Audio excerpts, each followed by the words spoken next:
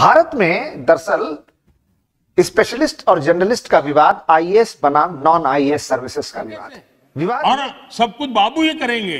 IAS बन गया मतलब वो फर्टिलाइज़र का कारखाना भी चलाएगा। आईएएस हो गया तो वो केमिकल का कारखाना भी चलाएगा। आईएएस हो गया वो हवाई जहाज़ भी चलाएगा। ये कौन सी बड़ी ताकत बना के रख दी है हमने? बाबुओं के हाथ में देश दे करके हम क्या करने वाले हैं? हमारे बाबू भी तो देश के हैं तो देश का नौजवान भी तो देश का है। विवाद ये है कि इंडियन पुलिस सर्विस का अधिकारी जब 30-32 साल की सेवा के बाद उस पुलिस का लॉ एंड ऑर्डर का एक्सपर्ट हो चुका होता है तो ऊपर से सेक्रेटरी होम बन करके आ जाता है एक अधिकारी। तो वो ये कहता है कि भाई law and order maintenance home affairs चलाने की तो ज़िम्मेदारी हमारी है। ज़्यादातर तो हमारे पास अनुभव है, विशेषज्ञता है, और आईएएस को आपने ऊपर से बैठा दिया। वित्त विभाग का अधिकारी कहता है कि 22-23 साल की उम्र में हम फाइनेंस अफसर होकर के आए थे और आज 30 साल की सेवा के बाद जब हम इतने वरिष्ठ हो गए हैं तो हमारा वित्त सचिव फाइनेंस का सेक्रेटरी रेवेन्यू का सेक्रेटरी वित्त का अधिकारी ना होकर के कौन हो जा रहा है? एक आई अधिकारी हो जा रहा है। तो वित्त का अनुभव, वित्त की विशेषज्ञता, वित्त का ज्ञान किसको अधिक होगा? हमें कि इस आई अफसर को? तो ये तो हमारे साथ नाइंसाफी है। जिला कृषि अधिकारी कह रहा है कि हमने जिला कृषि अधिकारी से शुरू होते होते हम फिर डिप्टी डायरेक्टर, ज्वाइंट डायरेक्टर और एडिशनल डायरेक्टर हुए और जब डायरेक्टर और प्रिंसिपल सेक्रेटरी की बारी आई तो एक आई अधिकारी आ गया। जिसका कृषि से कोई लेना देना नहीं। मेडिकल एंड हेल्थ वाला कह रहा है कि हम साहब, तीस साल की सर्विस हमने मेडिकल एंड हेल्थ में की बतौर डॉक्टर और हमारा हेल्थ और मेडिकल सेक्रेटरी एक आई अफसर हो गया, जिसको कि ज़िंदगी में स्टेट स्टेथ पकड़ना भी नहीं आता है। जिसने कभी कोई ऑपरेशन सर्जरी हॉस्पिटल में काम नहीं किया है, वो मेडिकल एंड हेल्थ का सेक्रेटरी हो गया। रक्षा विभाग वाला कह रहा है कि जिसने ज़िंदगी में बंकर नहीं देखा, जिसने कभी एलएमजी नहीं पकड़ी, जो कभी बॉर्डर नहीं गया, जो कभी युद्ध का अनुभव नहीं देखा, जिसने कभी देखा नहीं मिलिट्री प्लानिंग क्या होती है स्ट्रेटेजी क्या होती है आर्म फोर्सेस कैसे काम करती हैं, वो डिफेंस सेक्रेटरी हो गया। तो ऐसा क्यों है? ये तो हमारे साथ अन्याय है ना इंसाफी है।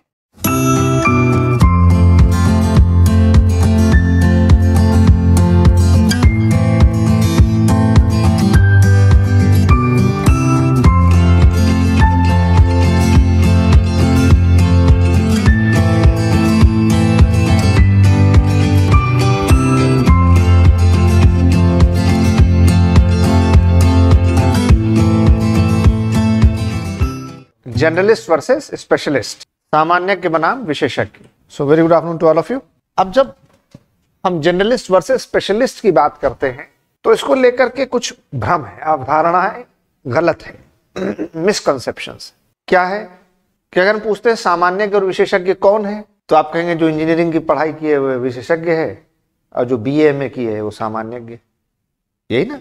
So any one from the background of science technology is a specialist.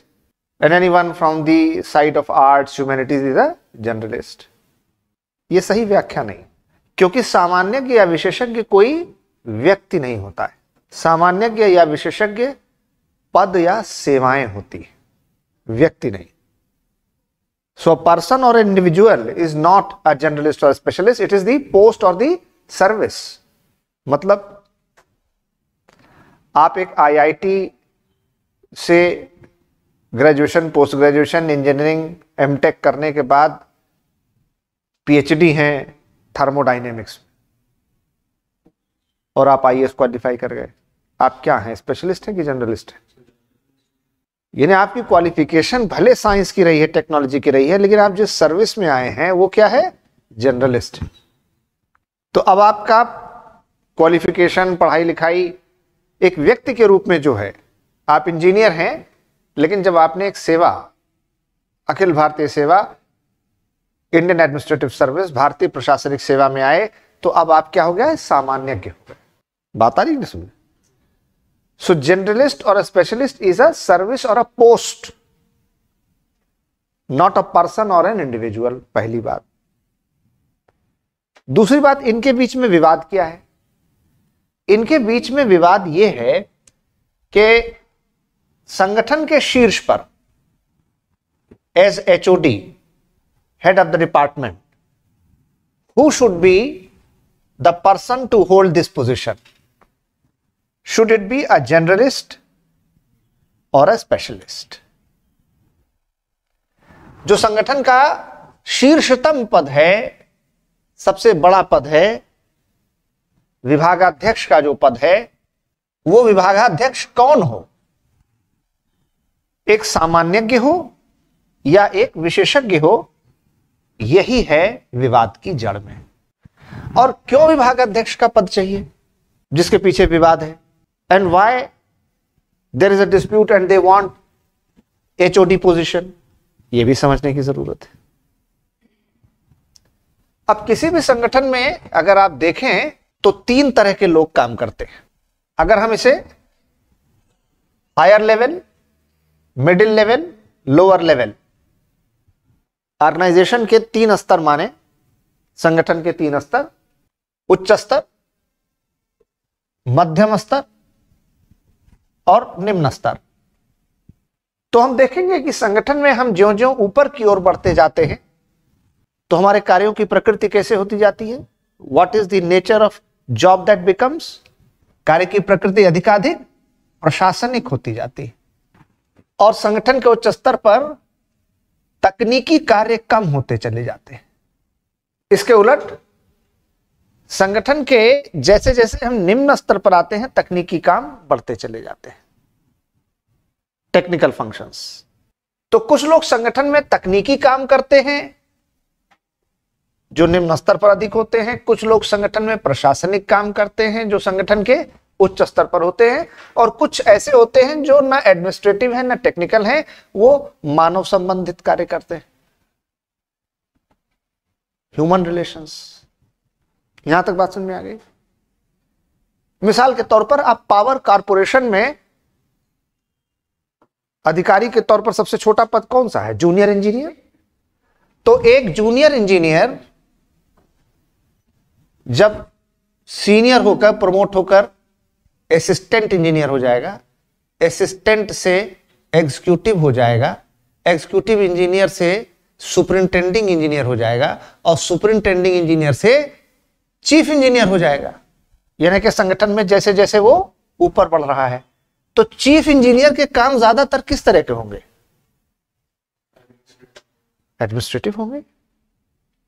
Policy decision होगा बजट बनाएगा प्लानिंग करेगा न कि जाकर के पावर कारपोरेशन में बिजली ठीक करेगा।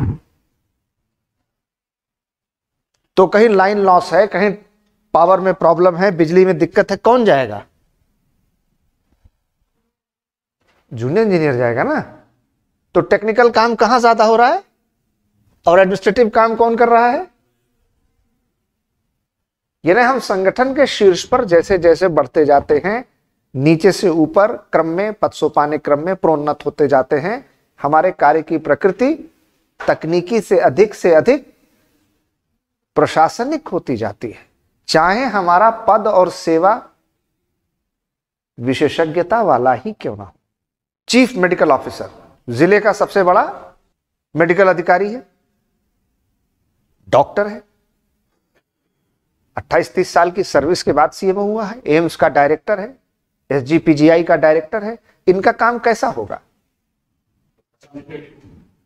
एडमिनिस्ट्रेटिव होगा, बजट बनाना, प्लानिंग करना, इनकी ट्रांसफ़र, उनकी पोस्टिंग यहाँ से वहाँ, इनको यहाँ से हटा दो, उनको वहाँ लगा दो। यही ना करेगा? यानी कि समझने की बात यह है कि संगठन के निम्न स्तर पर तकनीकी कार्य अधिक होते हैं और प्रशासनिक कम, और संगठन के उच्च स्तर पर प्रशासनिक काम अधिक होते हैं, तकनीकी कम, टेक्निकल कम होते जाते हैं। तो अब अगर हम देखें तो एक स्पेशलिस्ट जब अपना करियर शुरू कर रहा है तो वो क्या है? ज़्यादा से ज़्यादा टेक्निकल काम कर रहा है और जैसे जैसे वो ऊपर बढ़ता जा रहा है, वो स्पेशलिस्ट से जनरलिस्ट होता जा रहा है। रहा है? और एक जनरलिस्ट एक आईएएस अधिकारी जो है वो जब ज्वाइंट मजिस्ट्रेट है ज्वाइंट मजिस्ट्रेट के बाद वो हो जाता है एसडीएम और एसडीएम के बाद हो जाता है सीडीओ और सीडीओ के बाद हो जाता है डीएम और डीएम के बाद हो जाता है कमिश्नर और फिर चीफ सेक्रेटरी और कैबिनेट सेक्रेटरी यानी कि वह जर्नलिस्ट जैसे जैसे पदसोपानिक क्रम में आगे बढ़ रहा है, वह प्रशासनिक मामलों का विशेषज्ञ बनता जा रहा है। He is becoming the specialist of administrative matters क्योंकि एक एसडीएम केवल तहसील स्तर पर काम कर रहा है। फिर डीएम ज़िले स्तर पर काम कर रहा है तो ज़िले स्तर के जितने विभाग हैं, उनका प्रशासन देख रहा है। फिर कमिश्नर में कई ज़िले आ जा रहे हैं। फिर प्रिंसिपल सेक्रेटरी हो रहा है तो पूरा प्रदेश देख रहा है। तो किससे फाइनेंशियल रिलेशन होंगे, कैसे प्लानिंग होगी, कैसे डिसीज़न मेकिंग होगी, कैसे क्या होगा, यानी कि वो अपने सेवा काल में जैसे जैसे बढ़ता जा रहा है, वह एक शुरुआत किया था सामान्य के रूप में, लेकिन क्या हो गया? विशेषज्ञ हो गया। किस मामले का? प्रशासनिक मामले। और एक जो विशेषज्ञ था, वो धीरे धीरे कार्य की प्रकृति ऐसी होती गई कि वह प्रशासनिक होता गया। तो फिर विवाद क्या है फिर तो? एक सामान्यज्ञ जो है, वो विशेषज्ञ हो गया है। एक विशेषज्ञ जो है, वो सामान्यज्ञ की जगह कार्य की प्रकृति बदलती गई तो स्पेशलिस्ट जर्नलिस्ट हो गया जर्नलिस्ट स्पेशलिस्ट हो गया। भारत में दरअसल स्पेशलिस्ट और जर्नलिस्ट का विवाद आईएएस बनाम नॉन आईएएस सर्विसेज़ का विवाद है। विवाद यह है कि इंडियन पुलिस सर्विस का अधिकारी जब 30-32 साल की सेवा के बाद उस पुलिस का लॉ एंड ऑर्डर का एक्सपर्ट हो चुका होता है तो ऊपर से सेक्रेटरी होम बन करके आ जाता है एक आई अधिकारी। तो वो ये कहता है कि भाई law and order maintenance home affairs चलाने की तो ज़िम्मेदारी हमारी है।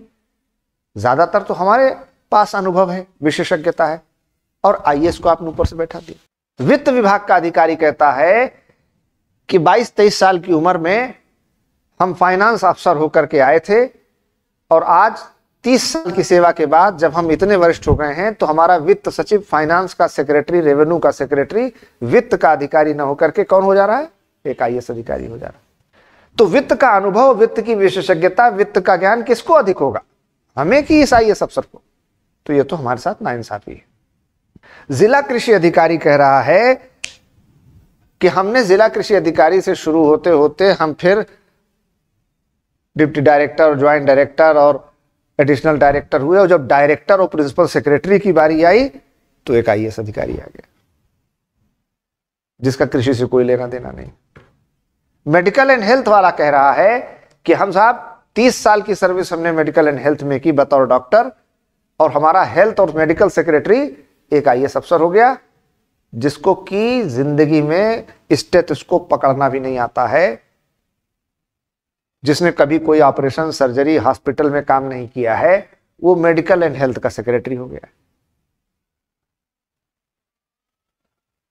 रक्षा विभाग वाला कह रहा है कि जिसने ज़िंदगी में बंकर नहीं देखा, जिसने कभी एलएमजी नहीं पकड़ी, जो कभी बॉर्डर नहीं गया, जो कभी युद्ध का अनुभव नहीं देखा, जिसने कभी देखा नहीं मिलिट्री प्लानिंग क्या होती है, स्ट्रेटेजी क्या होती है आर्म फोर्सेस कैसे काम करती हैं, वो डिफेंस सेक्रेटरी हो गया।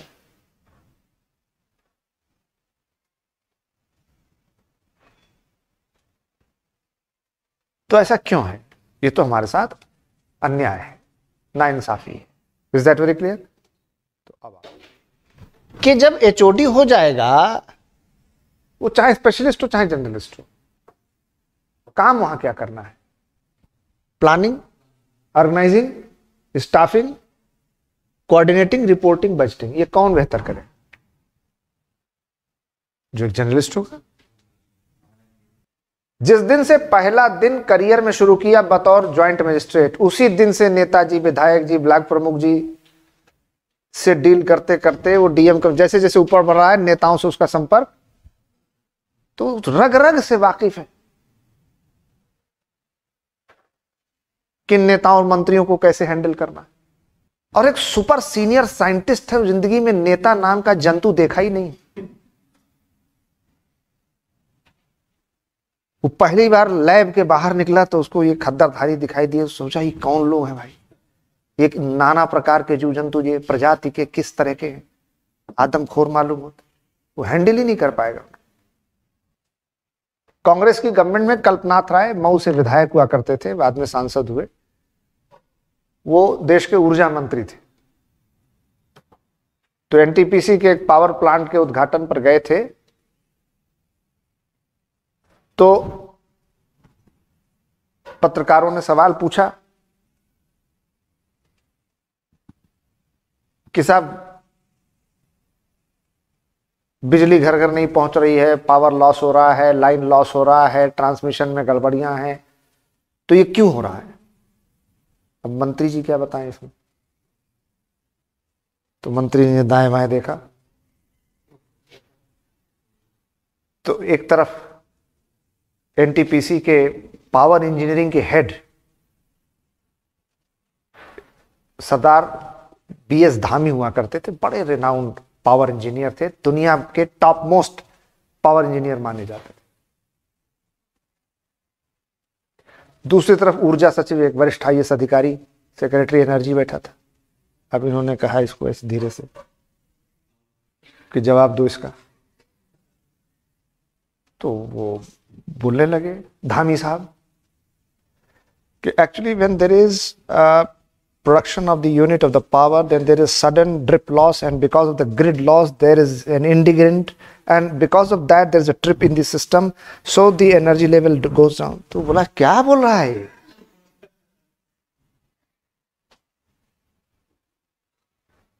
तो सचिव ने कहा एक मिनट साहब, नहीं मंत्री जी, एक मिनट। धामी साहब, एक मिनट। मैं बता रहा हूँ। यहाँ बिजली पैदा हुई, वहाँ पहुँचना है, बीच में तार में खो गई ना? हो गया लाइन लॉस। ये बात सबकी समझ में आ गई। एक पावर इंजीनियर नहीं समझा सकता था हैंडल नहीं कर सकता था प्रेस कॉन्फ्रेंस को।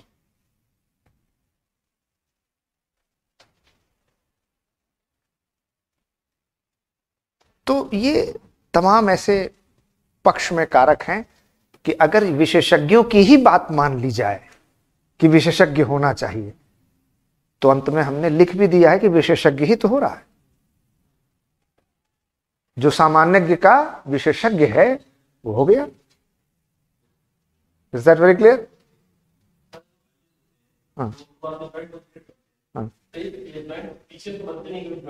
नहीं। ज्वाइंट मजिस्ट्रेट प्रोबेशन के पीरियड को कहते हैं।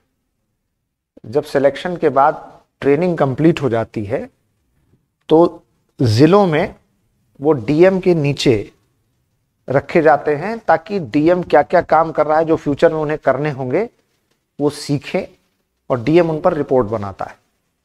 उस दो साल की अवधि के लिए उन्हें ज्वाइंट मजिस्ट्रेट कहते हैं, जिनका कोई रोल असाइंड नहीं होता है। डीएम उन्हें जो काम दे देगा।